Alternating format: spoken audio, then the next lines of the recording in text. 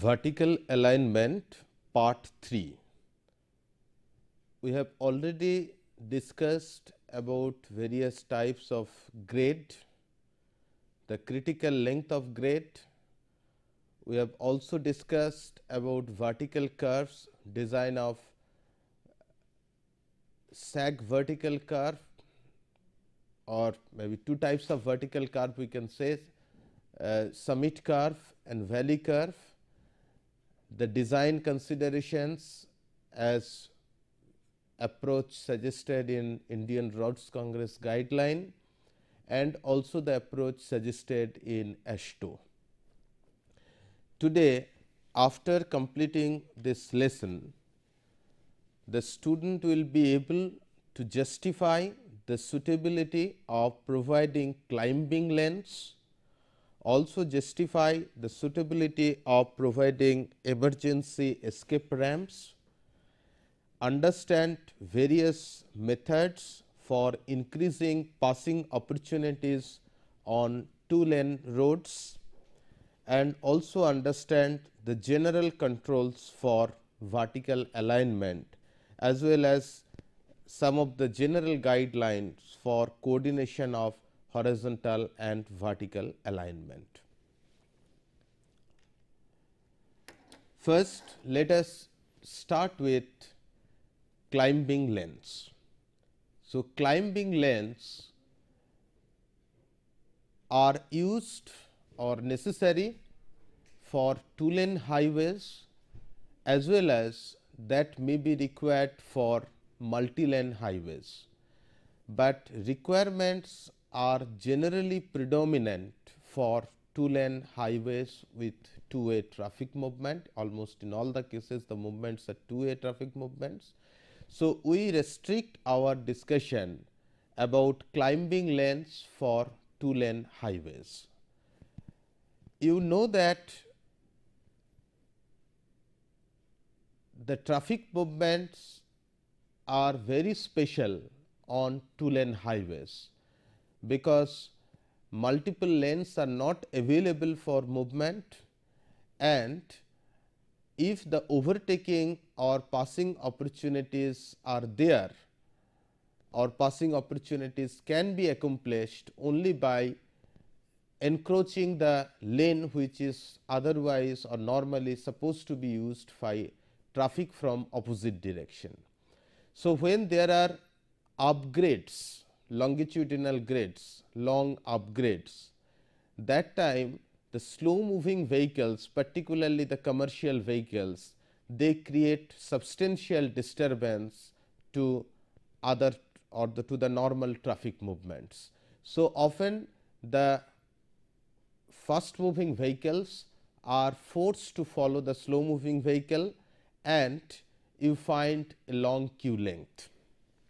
In fact, the reduction in speed of uh, commercial vehicles or uh, commercial traffic and because of the resulting of this thing the disturbance on the moving traffic stream or the overall traffic stream, we considered the critical length of grade. So, keeping all these things in mind, the provision for climbing length is worked out. So, let us see now freedom and safety of operation on two lane highways are adversely affected by heavily loaded trucks operating on grades of sufficient length. Remember that we are talking about the freedom of movement that we are referring and also the safety. Now, why the freedom of movement because often a slow moving vehicle is there. So, other vehicles are generally forced to follow that vehicles because normally uh, two lane roads the passing opportunities are limited. So, on long grades the freedom of movement is affected due to the presence of commercial vehicle as well as the grade. Why safety? The safety because we have already discussed when we talked about the critical length of grade, the more the a vehicle deviates from the average running speed of the traffic stream, more is the possibility of that vehicle getting involved into a crash, getting involved in a crash. So, there are more possibilities when slow moving vehicles are there, long grades are there, safety problem becomes more acute. So, to improve the freedom of movement and also the safety of operation, climbing lanes are added for vehicles moving slowly uphill, so that other vehicles using the normal lane are not delayed. So, it is basically to avoid the delay. So, once vehicles other vehicles are not delayed, it is a better freedom of movement. But remember that a two lane highway with a climbing lane should not be considered as a three lane highway, because if you consider a three lane highway the operation is very different. All the three lanes are available for all traffic movement, but when you add a climbing lane the purpose is very different that the climbing lanes is supposed to be used by the slow moving vehicles to give adequate passing opportunities and improve the overall freedom of movement for traffic operation and also enhance the safety. So, a two lane road with an added lane particularly the climbing lane should not be considered as just a normal three lane road. It is desirable to provide a climbing lane on a two lane highway where number 1 the grade, number 2 the traffic volume and number 3 heavy vehicle volume all together cause sufficient degradation of traffic operation from those on the approach grade. So, it is not a single factor combined effect of grade, traffic volume and heavy vehicle volume. So, altogether it is the grade, length of the grade, overall traffic volume and commercial traffic volume altogether wherever they cause substantial degradation to the operational characteristics of the overall traffic stream on upgrade there we should provide climbing lane. Of course, a climbing lane may also be may be desirable even if the traffic volume is low and delay of car is only occasional. Carefully observe this part delay of car is only occasional that means overall traffic volume is low and not that all the time a fast moving vehicle is forced to follow a slow moving vehicle and not that all the time there is a long queue. Under those circumstances, a climbing lane also may be desirable, but it may not be economically viable. It may be desirable, but not economically viable or economically acceptable. In such situations, one should explore the other options for improving the passing opportunities. We shall also come back to that part and discuss about various methods. Now, the criteria to be satisfied to justify a climbing lane on a two lane highway. As I indicated a climb lane, lane may be necessary even for multi lane facilities, but we are restricting our discussion about the climbing lanes for a two lane highway. So, what are the criteria that should be satisfied to justify the climbing lane or a climbing lane on a two lane highway.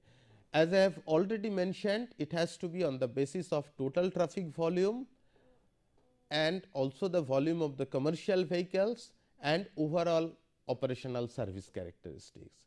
So, let us see that. First thing upgrade traffic flow in excess of 200 vehicles per hour.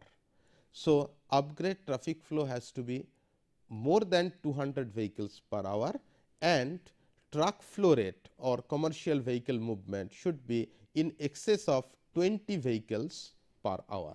So, both these requirements are to be satisfied. Moreover, one of the following three conditions should also get satisfied. Number 1, a 15 kilometer or greater speed reduction is expected for a typical heavy truck. Recall our discussion about critical length of grade, where we used this 15 kilometer per hour speed deviation as a basis. That means, if it is more than 15 kilometer per hour reduction in speed from the average traffic stream speed, then we restricted or we considered that one as a basis basis for critical length of grade. In the similar manner, in the same way, we say that do we expect a 15 kilometer per hour or greater speed reduction for heavy trucks number 1. Number 2 level of service E or F exists on the grade. You know there are 6 level of service that we normally use starting from A, B, C, D and E, F. A is the best possible operation whereas F is the worst and E represents the operation at or near the capacity.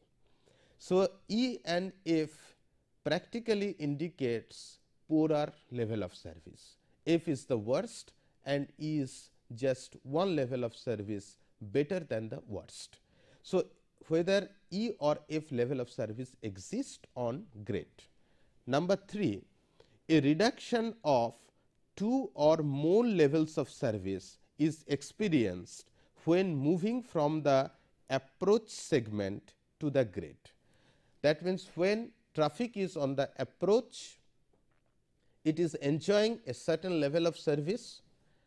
When it is negotiating the grade, whether the change in level of service is by two or more levels.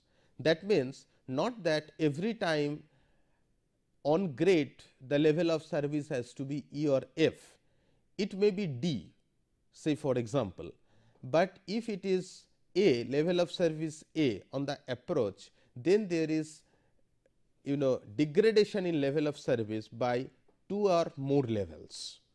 So, under those conditions also a climbing lane should be justified or is justified. So, one of these three conditions should get satisfied 15 kilometer or greater speed reduction, level of service E or F on the grade or a two or more levels of service, a difference or a reduction of two or more levels of service is experienced on grade. So, one of these three uh, conditions should be satisfied and also the other two conditions what I have already mentioned the total traffic volume and the total commercial vehicle volume those two conditions also should satisfy then a climbing lane should be justified.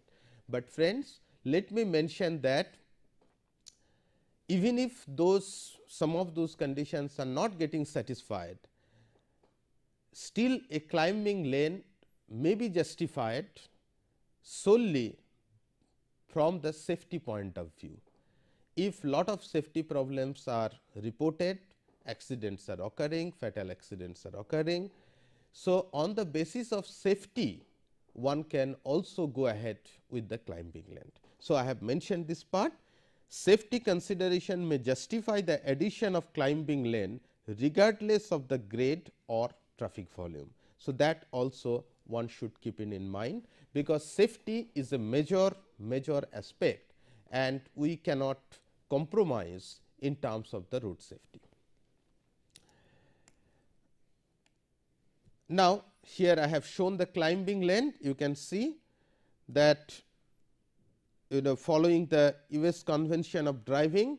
So, this is the climbing lane traffic is using moving in this direction and here the traffic is moving in this direction. So, we have added one lane extra here that is what is the climbing lane. For this side movement this is the climbing lane that is added. So, extra lane provide here and here in this case for both sides we have provided climbing lane. Now, the question comes where an added lane should begin. So, we are trying to explore that part where an added lane should begin. It basically depends on what is the speed at which truck approach the grade, is it more, is it less, what type of grade it is, approach approach grade is there, because if the speed is more, approach speed is more, you do not expect 15 kilometer per hour or more speed reduction very quickly or right at the entry of the approach grade, entry of the grade. But if the speed is less and then the truck is trying to negotiate the grade, you expect the reduction of speed much early.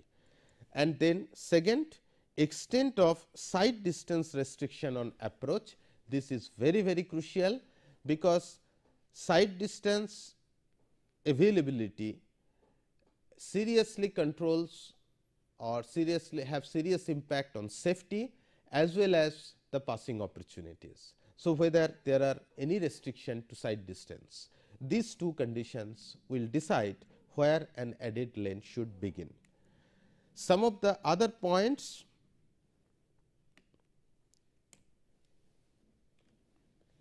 where no sight distance restriction on grade, right, where there is no sight distance restrictions or other conditions that limit the speed of the approach, one can introduce the climbing lane on upgrade beyond its beginning.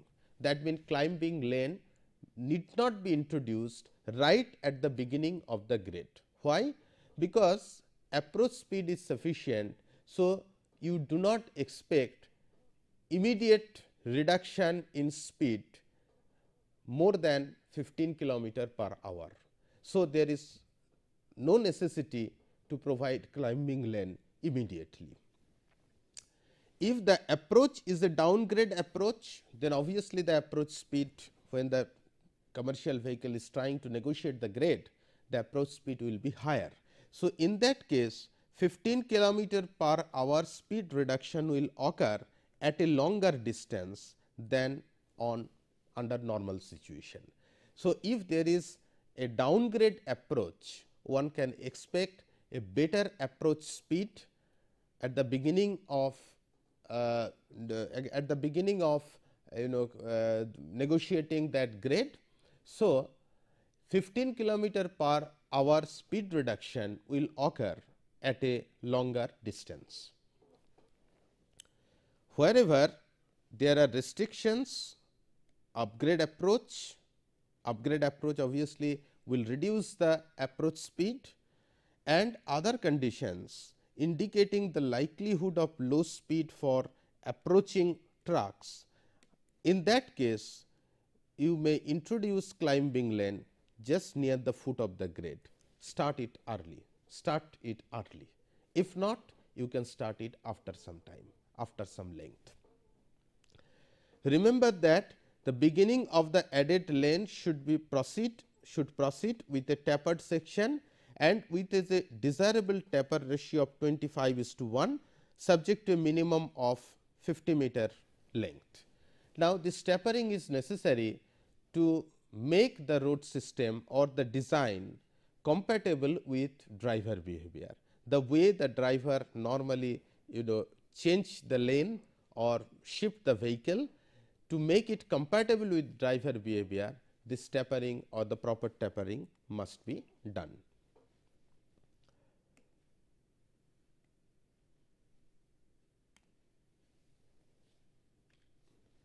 Then what are the requirements of a climbing lanes that means we should say the ideal characteristics of climbing lane some of the characteristics that you should keep it in mind. It should be desirably as wide as through lanes make it wide as wide as through lanes. It should be so constructed that it can immediately be recognized as an added lane for one direction of travel. Wherever we are providing it for one direction, the driver should be easily able to recognize it as an added lane, not just think that it is a three lane. They should understand that it is basically a climbing lane, added lane for specific purpose. Also, signs at the beginning of upgrade such as slow traffic keep right again following the US convention if we are putting this kind of thing in India, we should put it slow traffic keep left or trucks use right lane in our case Indian conditions truck use left lane may be used to direct slow moving vehicle into the climbing lane and for a better efficient and safe operation of traffic and better use of the climbing lane. Now, where this climbing lane should terminate. We have discussed where it should start, but then where it should terminate. There climbing lane should be extended to a point beyond the crest, where a typical truck could attain a speed that is within 15 km per hour of the speed of the other vehicles. Why? This is the reason why this is said because on long grades where you are providing the climbing lane, it is expected that the speed deviation will be substantial. So, once it has reached to the crest, immediately the speed gain may not be sufficient to limit the speed deviation within 15 kilometer per hour. So, you should extend it little bit, so that the commercial vehicle can improve the speed have a better speed or more speed and the deviation becomes within acceptable limit that is 15 kilometer per hour. So, extend it so that commercial vehicles can attain a better speed level and the deviation is less than 15 kilometer per hour. Now, in some cases it may not be possible.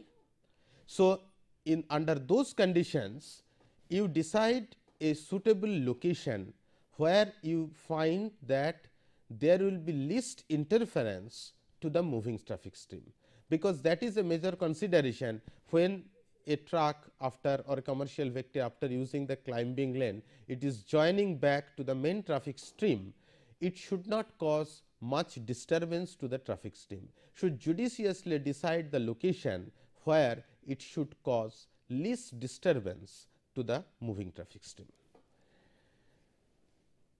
Again needless to mention that sufficient taper length should be provided to permit trucks to return smoothly to the normal lane. Here also keeping it or matching it with the driver behavior, the way the vehicle moves, the way the driver behaves, the way the vehicle operates, provide smooth tapering so that the vehicle can smoothly come back to original lane. That completes our discussion about the climbing lanes. Now, let us try to understand what is emergency escape ramps. Till now, we talked about the problems on upgrade, particularly the long upgrades where commercial vehicle movements are uh, significant, the total traffic volume is significant and how to provide relief. Now, emergency escape ramps actually relates to traffic operation on downgrades. It is not that that problem occurs only on upgrade. Upgrade problem occurs you know this is the speed reduction, deviation in speed therefore, the safety problem. But on downgrade it is a different type of problem altogether. A vehicle may lose control because of application of brakes, there could be brake failure, high temperature and brake failure and therefore, eventually it may affect the overall safety of traffic operations on downgrades. So, therefore, emergency escape ramps essentially are provided to improve the traffic safety. Remember it once again to improve the overall traffic safety on downgrade and obviously at situations or location where the safety is a major problem. Not that all downgrades or wherever there is a downgrade there will safety problem will occur, it may not occur also, but wherever there are safety problems emergency escape ramps helps in improving the safety of the traffic operation. Now, let us see on long descending grades emergency escape ramps is desirable for out of control vehicles. All we are talking about to tackle out of control vehicles. While this is negotiating the grade downgrade, there could be brake failure. So, how to handle out of control vehicle without causing serious damage to other traffic and also to averting uh, properties and human being. Now, let us see what are the forces acting on a vehicle and affecting vehicle speed. Primarily three sources, one is engine number 1, number 2 braking, number 3 tractive resistance. Now, engine and braking resistance force is they are ignored for the design of emergency escape ramp. Why? Because we should design emergency escape ramps for the most critical condition. Now, when the critical condition will occur? Critical condition will occur when the vehicle is out of gear and the brake has failed. That is the most critical condition. So, if a design is safe for the critical condition, it will automatically be safe when there are engine force and also the braking force. So, for the design of emergency escape ramps, we neglect the engine and braking resistance. These two components are neglected. Now, what remains? Tractive resistance. Now, tractive resistance there are four subclasses of tractive resistance. What are those? Inertial, aerodynamic, rolling and gradient. Inertial, aerodynamic, rolling and gradient. Now, we shall talk about these four subclasses of tractive resistance. Now, inertial or negative gradient. What inertial resistance does? Now, inertia means it will help the vehicle body or the vehicle to maintain its original condition. That means, if the vehicle is on movement, this inertial resistance will help the vehicle to keep the movement or to maintain that movement. Similarly, if there is a negative gradient, negative slope that will also help the vehicle to keep the movement. So, therefore, we can say that inertial and negative gradient they basically act to maintain the motion of vehicle. They helps, they helps the vehicle to maintain the motion. On the other hand, if you consider this rolling resistance and positive gradient. Positive gradient means up gradients, upward gradients. So, upward gradients and in all the cases the rolling gradients and also the air resistance, they basically act to retard the vehicle motion. So, essentially we can say that rolling and positive gradient they resist forces and try to overcome inertial resistance. So, one way the inertial resistance is trying or helping the vehicle to keep motion. On the other hand rolling and positive gradients they are trying to you know put a restriction or try to overcome that. They are they are really resisting or trying to act against the inertial resistance. Now, what, what do we mean by rolling resistance? Let us try to develop or keep our understanding clear. It is resistance to moving vehicles at the area of contact between tires and road surface. Okay? So, it is the resistance to moving vehicles carefully observe this part resistance to moving vehicles in the area of contact between tire and road surface and normally AASHTO refers it uh, the calculation in terms of kg per 1000 kg of GVW or gross vehicle weight. Now, AASHTO also gives exhibit showing what should be the value of rolling resistance. Now, you can appreciate that rolling resistance will definitely be a function of the type of pavement surface. Okay. So, if we consider say Portland cement concrete surface, bituminous concrete surface, maybe gravel surface again gravel compacted, gravel loose, loose gravel surface. In all the cases the rolling resistance will be different. In fact, the way I have mentioned the rolling resistance will increase in that manner. That means, least for PCC, more for say maybe gravel compacted and then further more for gravel under loose conditions. So, for different types of surface what is the rolling resistance and rolling resistance because it is trying to act against the you know inertial resistance. So, we can express also rolling resistance in terms of equivalent positive grades. What is the equivalent positive grade?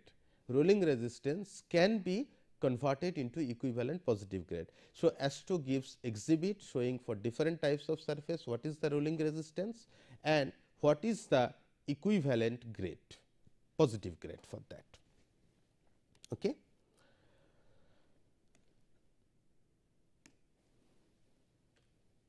Now, if we want the grade resistance to be effective, then vehicle must move upward against gravity. It is very clear because grade uh, resistance will not be effective if it is a downgrade. It will rather help the vehicle to keep motion. So, grade resistance to be effective vehicle must be moving on upgrade against gravity and grade resistance is also influenced by total vehicle weight and magnitude of the grade grade resistance for each percentage grade is considered as maybe 10 kg for 1000 kg. Now, what is remaining is aerodynamic resistance. Now, aerodynamic resistance is basically the force which is resulting from retarding effect of air on vehicle. It is the force which is resulting from the retarding effect of air on vehicle. It is found from experience and experiments that this resistance aerodynamic resistance is significant if the vehicle speed is above 80 km per hour, but it is negligible if the speed is below 30 km per hour. So, it will only become effective uh, if the vehicle is moving at a high speed. Now, for the design of emergency escape ramps, this factor or this aerodynamic resistance is neglected, it just gives a cushion or factor of safety for the overall design. Then need and location for emergency escape ramps, operational problems of existing downgrades if it is observed, there it may be justified. So, on existing grades normally the law enforcement authorities maybe the traffic police or corporation they will often report their record itself will show that there are a lot of accidents taking place. Also from field observations one can get a trace of that kind of problem. Say you may find the broken guard, guardrails or spilled oil which are indication of potential safety problem on that segment. So, if such problems are reported and found and emergency escape ramps may be justified. Now, remember that principal factors principal factors determining the need for emergency ramp is safety that is the principal factor safety of other traffic safety of the driver of the out of control vehicle and also safety of residents along and at the bottom of the grade. So, it is safety of the other traffic, safety of the driver of the out of control vehicle and safety to other residents who are you know located or who are residing or who are, using the abutting road length. Okay. So, that safety is the major factor in justifying emergency escape ramps. Now, ramps should be located to intercept the greatest number of runaway vehicles. So, obviously, the bottom of grade is a very very crucial location and also at some strategic intermediate points from where an out of control vehicle could cause serious crash. So, that is the location where we should put emergency escape ramps. Now, these days uh, grade severity rating system is also used to analyze for analyzing operations on grade, where a predetermined brake temperature limit is used that is say 260 degree centigrade is used to justify or to establish safe descent speed for grade. Remember that using grade severity rating system, it is possible to calculate the expected brake temperature at 0.8 kilometer interval along the grade. So, therefore, the locations where the brake temperature exceeds the limit limit that is say 260 degree centigrade that indicates the point of potential brake failure. So, obviously, if we can calculate it at every 0.8 kilometer interval what is the temperature and then wherever it exceeds the you know permissible or limiting temperature we know that is the point of potential brake failure. So, accordingly one can start introducing uh, you know uh, a an emergency escape ramps at that location. Again trying to you know make you uh, trying to put that point of safety or the safety consideration once again emergency escape ramp should be built in advance of horizontal curves, because an out of vehicle control will be in utter danger if it has to negotiate a horizontal curve. So, it says that emergency escape ramp should be built in advance of horizontal curves that cannot be negotiated safely by an out of control vehicle and in advance of populated areas. So, that normally covers the thing. Now, there are four types of emergency escape ramps gravity type, arrestor bed type, sand pile type, three types of emergency escape ramps that are used. In gravity type ramps, paved or densely compacted aggregate surfaces are used and we predominantly rely on gravitational forces to stop the runaway vehicles. Whereas, in arrestor bed type emergency escape ramp, rolling resistance is the main consideration. So, rolling resistance is increased by providing loose aggregates and obviously, arrestor bed it may be horizontal grade, ascending grade or descending grade. Then sand pile in this type of emergency escape ramp, composed loose dry sands are dumped and normally for sand pile the emergency escape ramp's length is not greater than 120 meter. Now, although there are three types of emergency escape ramps like gravity type, arrestor bed type, sand pile type, four basic designs predominant. One is the sand pile that is one type and then three types of arrestor bed. Okay?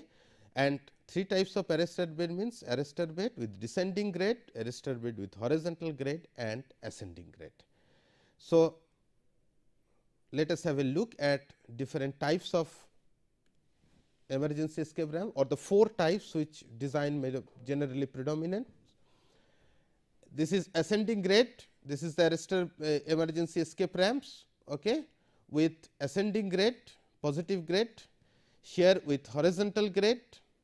This is the emergency escape ramp, this portion with horizontal grade and this is with a descending grade. And this last figure it shows emergency escape ramps with a sand pile. So, this is all fill up with loose sand. So, this is the sand pile type emergency escape ramps. Now, we shall discuss about various methods for increasing passing opportunities on two lane roads. There are three four types of measures are taken. First is the passing lane. Passing lane is an added lane provided on one or both directions of travel to improve traffic operations in sections of lower capacity. It improves overall traffic operation by reducing delay caused by inadequate passing opportunity. So, it is basically essentially if you say this is an added lane of some predetermined designed length, okay, not a continuous length, but it is a predetermined length. So, the slow moving vehicle can shift to that lane and then the through traffic lane is free for the other vehicles which were till that time following the slow moving vehicles rather they were forced to follow the slow moving vehicle. So, you provide a passing lane so that the slow moving vehicle start using the passing lane and the through traffic lane is free for the vehicles to complete passing maneuver easily. Now, the location of passing lane should appear logical to driver. Why we are saying this part? Suppose there is a long tangent. So, obviously, sooner or later passing opportunities may be available on long tangents, but where in addition restriction to sight distance there the passing opportunities may be even more restricted. So, it should appear location of passing lane should appear logical to the drivers. So, that is why it is said it is more essential where sight distance is restricted rather than on long tangents. So, provide it where really there are uh, you know problems or inadequacy in terms of sight distance.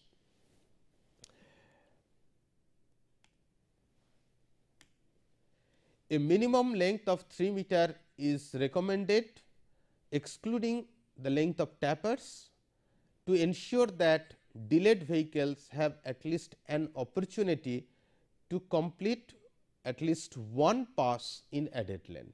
So, delayed vehicle should be able to get an opportunity to complete at least one pass in that lane segment or in that portion of the road.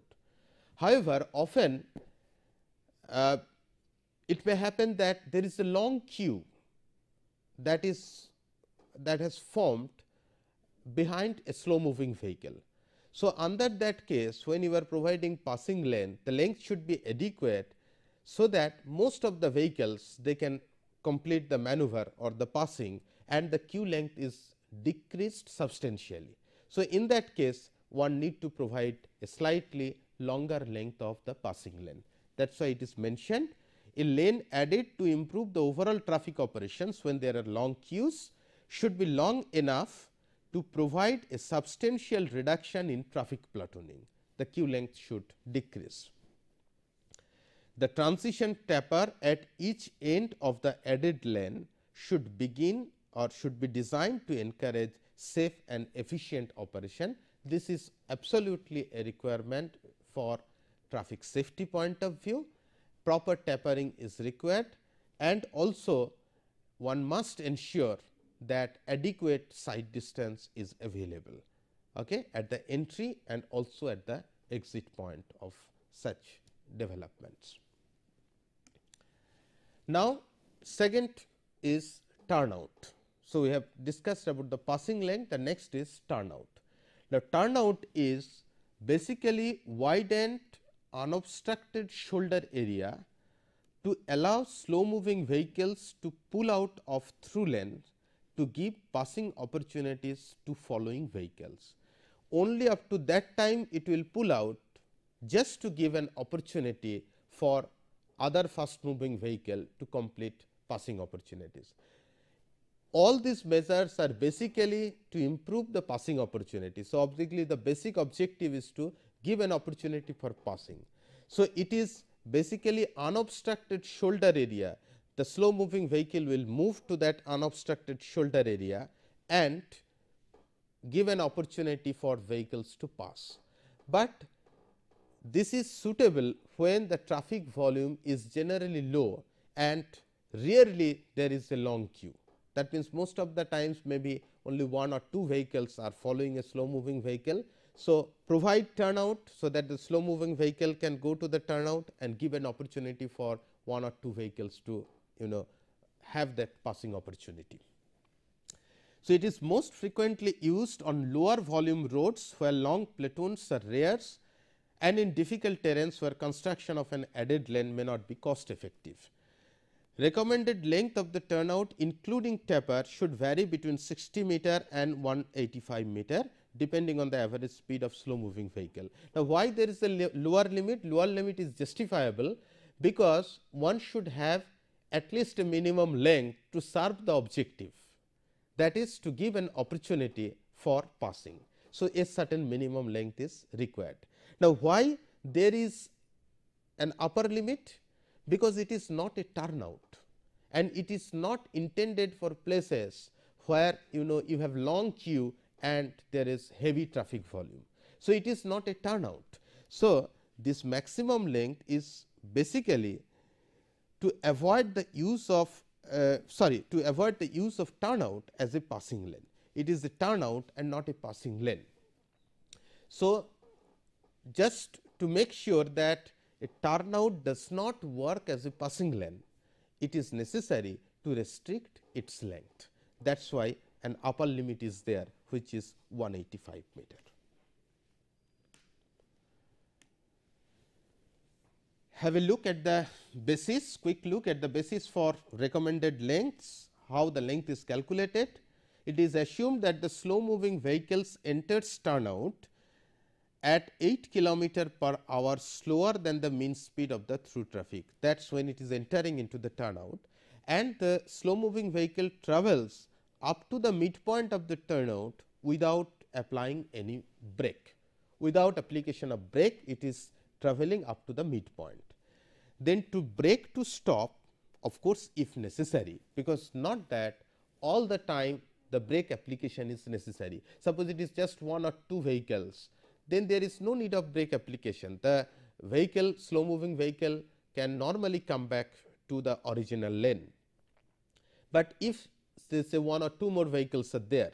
So, and it is necessary to apply brake. So, that time the deceleration rate should not exceed 3 meter per second square.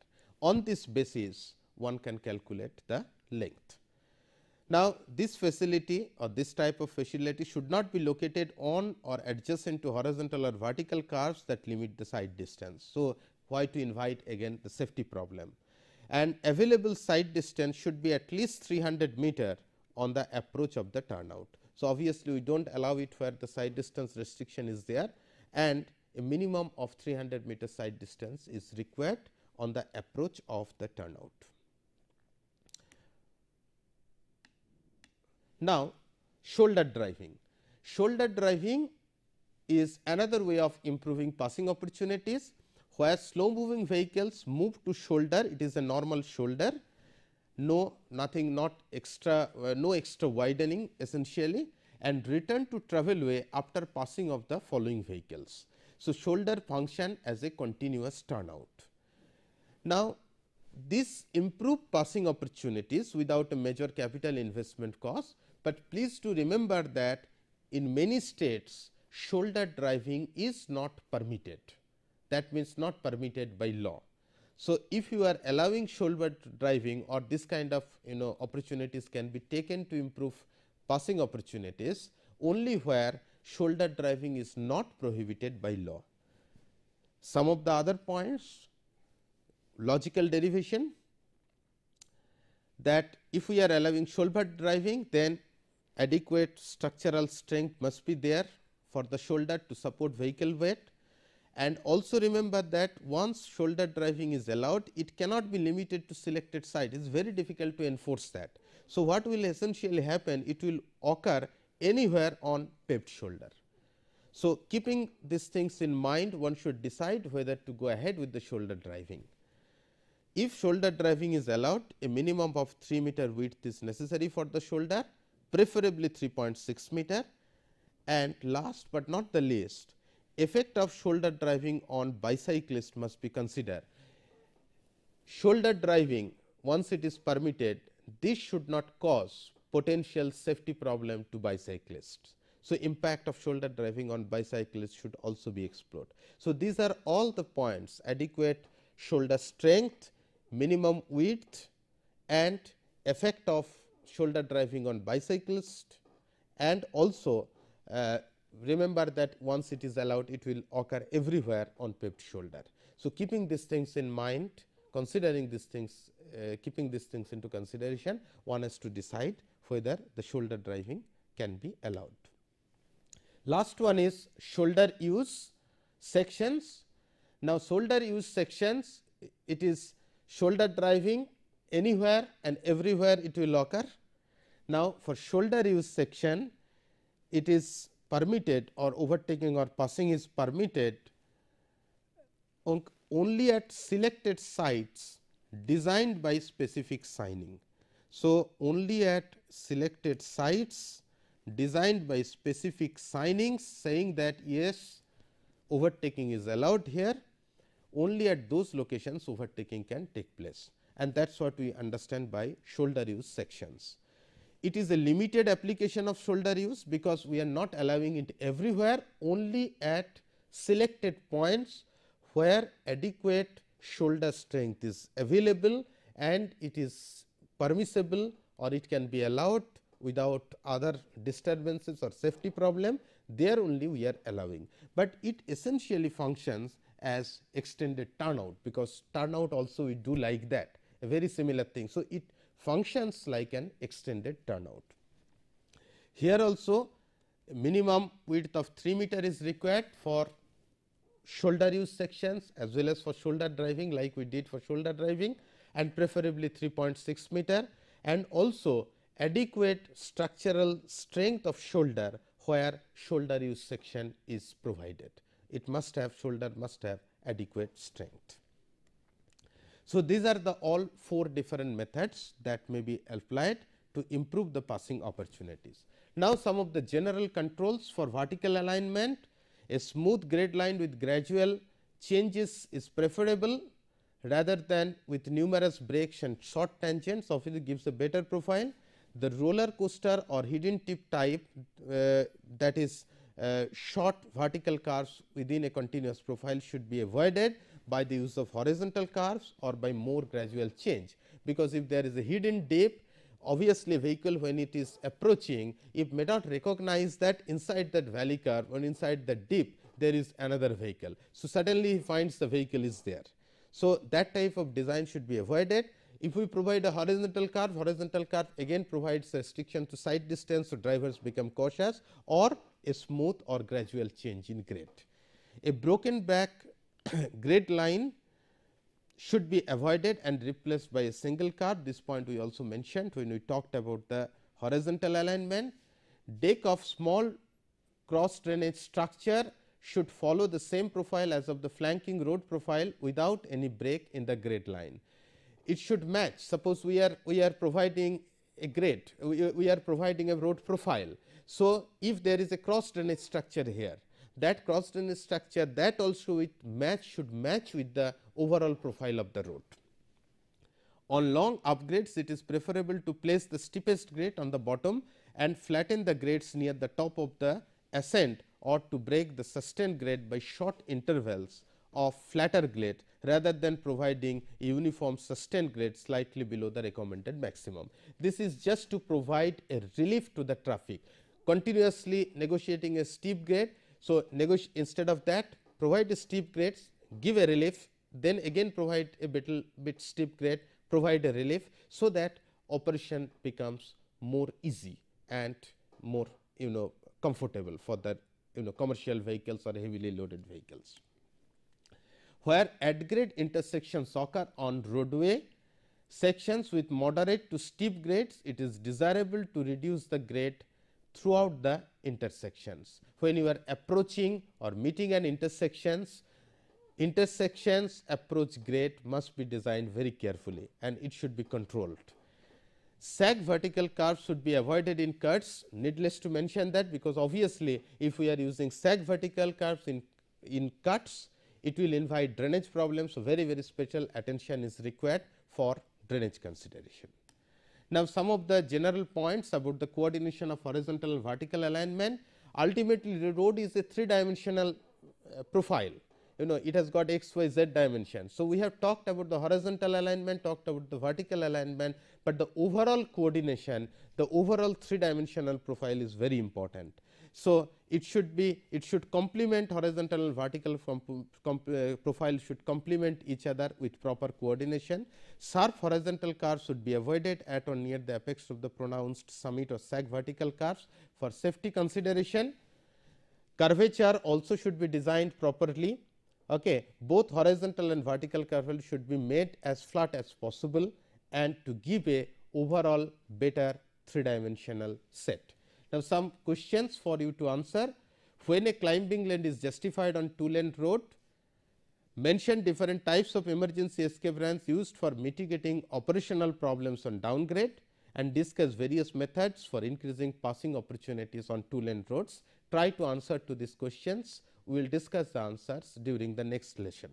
Now, before I close, let me quickly try to answer some of the questions what I raised in the uh, last lesson define critical length of the grade and discuss the basis by AASHTO. It is basically the maximum length designated on upgrade where a loaded truck can operate without an unreasonable reduction in speed and as per AASHTO a 15 km per hour speed deviation is taken.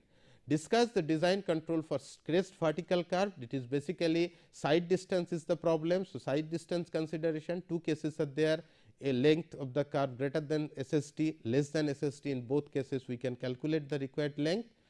And here the reciprocal that is uh, k factor is defined which is basically the distance needed to make 1 percent change in gradient.